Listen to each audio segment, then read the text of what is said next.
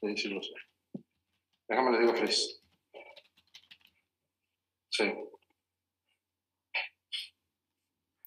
Hola, buenas tardes. Bienvenidos a conferencia de prensa con nuestro entrenador Miguel Herrera. Matías Graudi, por favor.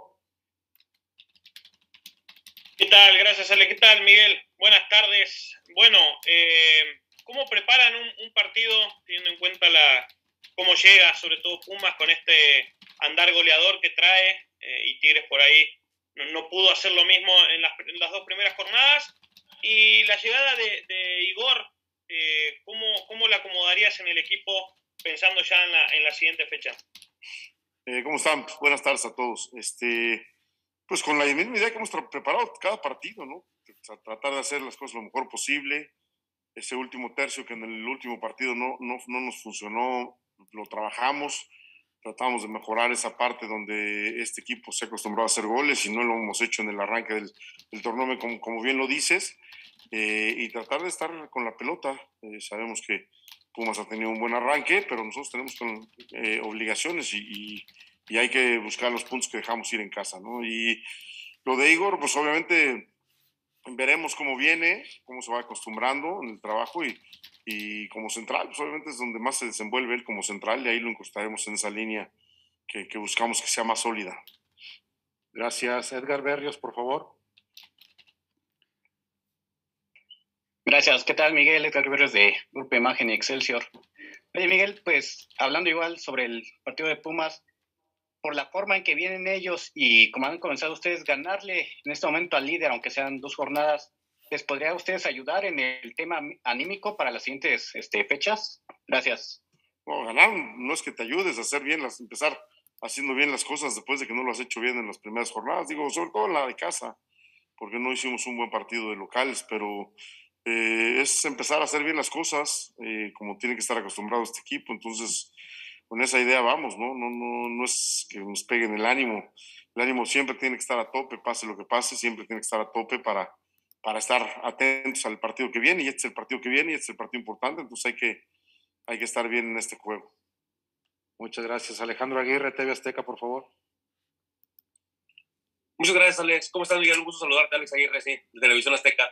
Miguel, pues dos cosas muy puntuales. Uno, si nos pudieras eh, adelantar la, la, alineación y cómo está la situación con Carlos, con Carlos Salcedo, ¿se está tomando en cuenta o no? Considerando de que, bueno, pues habla ya de que es prácticamente un hecho que se va al fútbol norteamericano.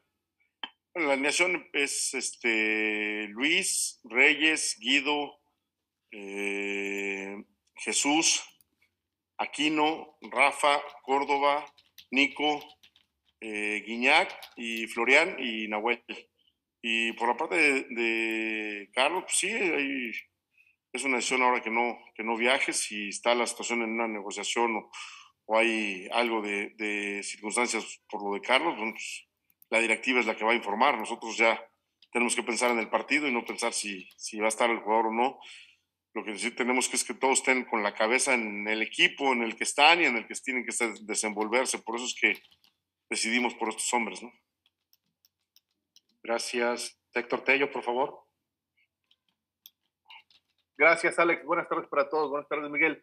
Eh, y la determinación de, cambiar el, parado nuevamente, Miguel, porque nos lo había dejado muy en claro al inicio de, del torneo que, que, pretendías otra cosa para que el equipo tuviera un mayor volumen ofensivo. Tienes muchos hombres también de, media cancha hacia arriba, eh, de, los, de los momentos problemas para un entrenador. ¿Es esto el, volver a reagruparse y el buscar otra cosa o qué se pretende al, regresar con la línea de, de cinco al fondo? Pues la verdad es que buscar eh, sacar un, buen resultado de visitante, ¿no? Eh, me parece que el torneo pasado tuvimos muy buenos resultados eh, buscándolo en, cancha rival. Entonces me parece que ahora lo que mejor el equipo le, le funcionó fue este parado, entonces arrancaremos con este de visitante e iremos viendo conforme vayamos trabajando ya con la gente que ya esté el equipo prácticamente completo sin que pueda llegar o, salir nadie por, porque se cierre el registro, pues estemos concentrados en lo que podemos trabajar y ya todos sepan bien lo que buscamos, ¿no? Ahorita es volver al equipo a las bases de lo que hicimos bien el torneo pasado. Gracias. Juan Carlos Jiménez, por favor. Gracias, Alex. Buen día, Miguel. Te saluda Juan Carlos Jiménez del Periódico El Norte. Miguel, en base a este parado de, de, volver a la línea de cinco, lo que más te dio este, seguridad el torneo anterior, como lo dices, ¿te da para proponer el partido o, con este sistema no, lo ideal es ir a contragolpear? No, nos da para, para, proponer, así con este sistema propusimos los partidos muchas veces el torneo pasado. Es nomás el parado táctico del equipo, ¿no? El ocupar mejor la cancha, unas cosas que, que hemos venido haciendo bien durante el torneo pasado y que tratamos de refrescarlas para este torneo, pero proponer el juego trataremos de siempre ser los, los que salgamos a proponer, ¿no? Gracias. Rubén Almaguer, por favor. Gracias, Alex. Gracias, Miguel. Buenas tardes. Antes que nada, Rubén Almaguer de Poste Deportes. Miguel, ahorita en una balanza, ¿cuál sería tu juicio o criterio con la salida de Salcedo y la incorporación de Igor? ¿Se gana más, se pierde? ¿Cómo está ahorita tu balance, tu criterio? Bien, se fue un central, llegó otro central.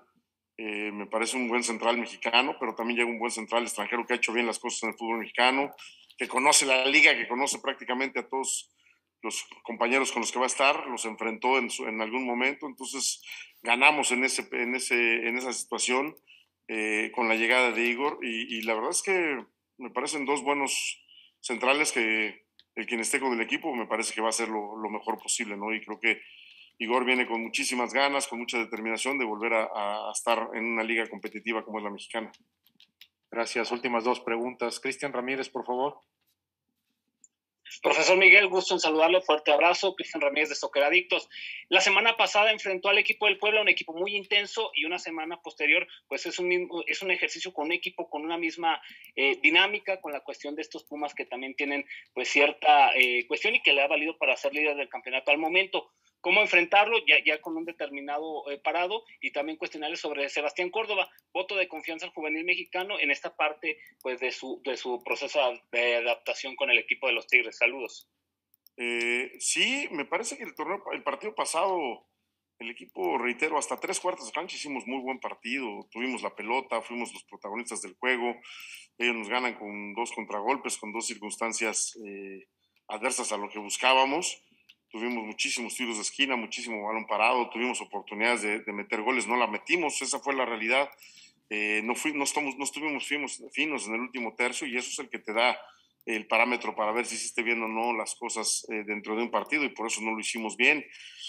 Eh, no es que nos afecte la dinámica, porque me parece que el equipo se, contuvo y tuvo, reitero, tuvo la pelota. No es este voto de confianza. Digo si yo voy a calificar a un jugador por dos partidos, cuando apenas recién lo conocen sus compañeros, y él también está conociendo a sus compañeros, y, y, obviamente pues, eh, la idea es que se, vea cada día mejor, pues sería yo eh, un técnico muy, muy, muy parco, ¿no? Eh, el no saber que un, jugador pues, tiene que adaptarse a sus compañeros, tiene que adaptarse a una idea diferente, tiene que, diferente de juego de, sus compañeros, que lo conozcan, que sepan cómo se mueve, que ellos, él sepa cómo se mueven sus compañeros. Entonces, pues es obviamente que, va a ir paulatinamente funcionando mejor, lo mismo que Jesús, el mismo caso va a ser de, Igor, y si alguien viene más, pues, en esa circunstancia, ¿no? Desde el torneo pasado lo, comentamos, el torneo pasado no hubo muy pocas incorporaciones y creo que fue lo más rápido posible. Bueno, pues hoy trataremos también de que ya sea lo más rápido posible la, la, adaptación al juego de, de todos los que lleguen, ¿no? Muchas gracias. Última pregunta, Eric Mendoza, por favor. Muchas gracias, Miguel. Buenas tardes. Eric Mendoza para la tribuna. Un gusto saludarte. El día de mañana enfrentan al equipo que más goles ha marcado en el, arranque de este torneo y pues también nada más han permitido un gol. Teniendo esto en consideración, ¿qué es lo que más te llega a preocupar de momento? ¿La falta de contundencia de cara al arco que ya lo has mencionado o la zona baja de tu equipo? Gracias. La zona baja no, porque hemos recibido tres goles que me parece que eh, fueron más circunstanciales. Uno de ellos fue un autogol, desafortunada jugada, desafortunada, porque no es que hubo la intención de, de, atravesarse para el autogol y un penal. Entonces, la verdad es que el equipo no lo ha hecho, no lo ha hecho mal defensivamente. Nos está faltando el, el, tercio último que dijimos. Bueno, pues hemos trabajado para eso. Tenemos gente goleadora, tenemos al líder goleador, tenemos a un tipo que ha hecho goles, muchísimos goles en el fútbol mexicano, como es, como es André, y tenemos al equipo que más goles hizo el torneo pasado. Entonces, también nosotros tenemos que afinarnos para, para llegar el, día de mañana eh, con mejor eh, puntería para poder concretar las oportunidades que podamos tener. Muchas gracias, señores. Gracias a todos. Gracias, Miguel. Gracias.